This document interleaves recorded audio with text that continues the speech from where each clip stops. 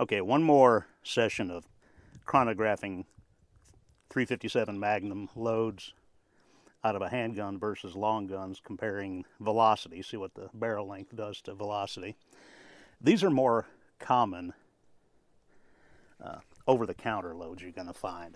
The previous video had Underwood and Buffalo Bore. This is the more common stuff you're going to find when you go to the big box stores, your Cabela's, your Bass Pro Shops. Walmart, they still sell it. Is your Remington 110 grain jacketed hollow point Federal 125 grain jacketed hollow point and Federal 158 grain jacketed soft point. The guns are the same as before, a 3 inch Smith & Wesson L frame, a 16 inch 1892 reproduction carbine and a full-size 24 inch 1892 rifle. So here we go. First up, the Remington 110 grain semi-jacketed hollow point out of the 3 inch L frame. 1336 and 1327.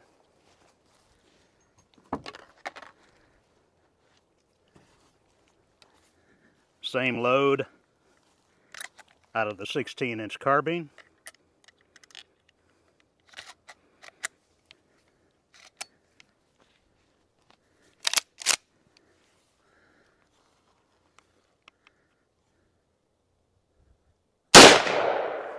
Seventeen fifty two and seventeen seventy eight.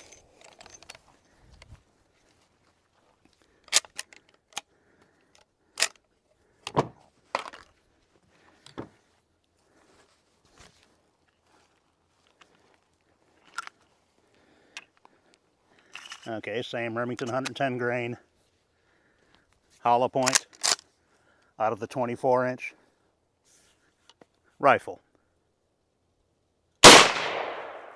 1835 and 1858.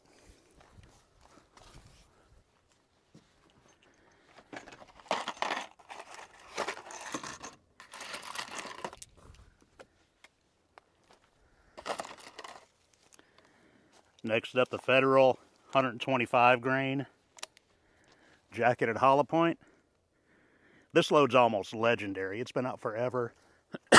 and for a long time, it had the highest one-shot stop rating of any handgun load out there. Not just any 357, but any handgun load. I'm not the biggest worshiper at the altar of one-shot stops, but this load's been a really good one for a really long time.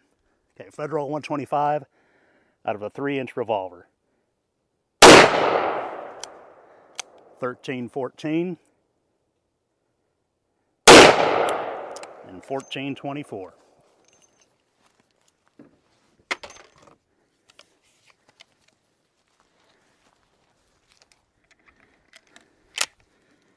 Same Federal 125 out of the 16 inch carbine.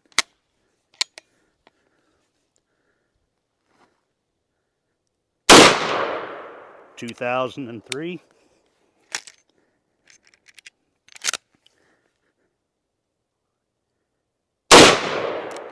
and 2049.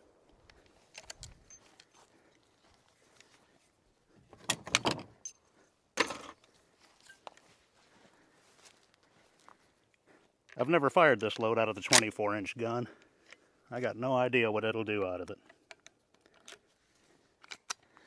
Here you go, the Federal 125 grain jacketed hollow point from the full-size 1892 24-inch rifle. 2134.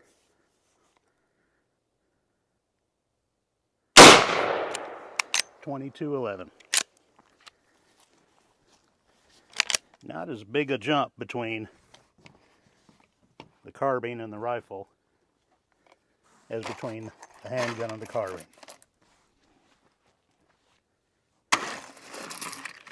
Last up, the Federal 158 grain jacketed soft point.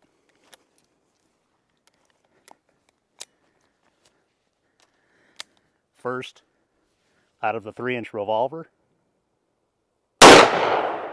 1221. And 1237.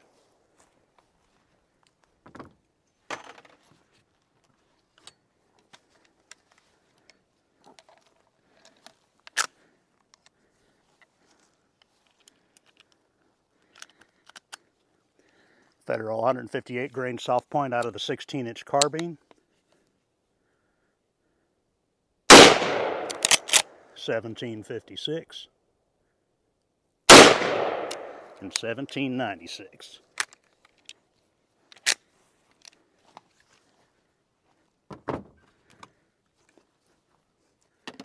And last up,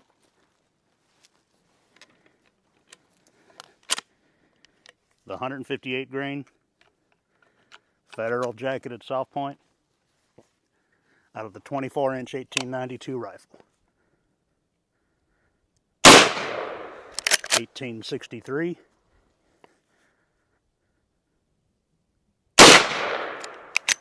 And 1860. Okay, we'll get these put into the spreadsheet and then check them out. And here we have the results here in the spreadsheet.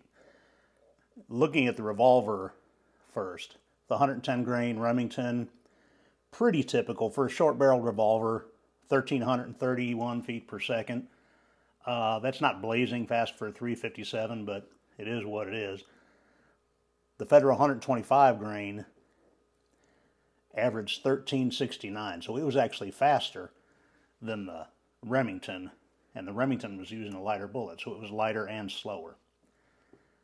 The 158 grain Federal, 1229, so a little heavier, which is to be expected with a heavier bullet. Energy-wise, the Remington 110 being the lightest bullet and not particularly fast, 433 feet, I'm sorry, foot-pounds of energy.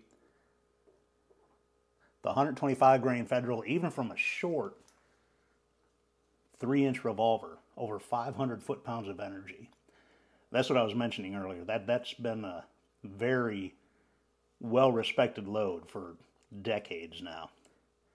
The 158 grain, even from the three-inch revolver, because of the weight of the bullet, uh, 530 roughly foot-pounds of energy. So that's plenty respectable. But if we look at the difference between going from the three-inch revolver to the 16 inch carbine. We went from 1,331 feet per second to 1,765. So from 430 foot pounds of energy to 760. That is a huge jump. From the 24 inch gun, over 800 foot pounds of energy. Darn near double, 92% increase in power from the rifle versus the revolver. The 125 grain Federal more than doubled the power uh, from the 3 inch going to the 16 inch. Went from 520 foot pounds to over 1100. Going to the 24 inch rifle, 1310 roughly foot pounds of energy.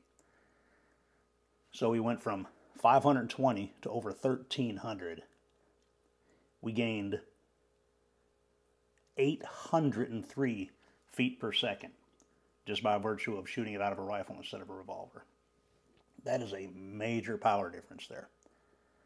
The 158 grain, not as huge a percentage just because the bullet's heavier and it's having to work harder for it. But again, going from the 3 inch revolver to even to the little 16 inch carbine, uh, more than doubled the power of that round. 529, 530 foot pounds of energy versus more than 1,100 foot pounds of energy. For comparison, a typical 16 inch AR, which you know is kind of everybody's benchmark nowadays, you're running about 1,100 foot pounds, 1,150 maybe. So even the little 16 inch lever gun in the quote unquote pistol caliber 357 Magnum is as powerful as your AR 15 carbine in 223 or 556. And that 16 inch carbine is a little gun. It's actually smaller than a Ruger 1022 rimfire. I'll, I'll put up a picture of it here toward the end. But it is literally that compact. That's not just hyperbole. It is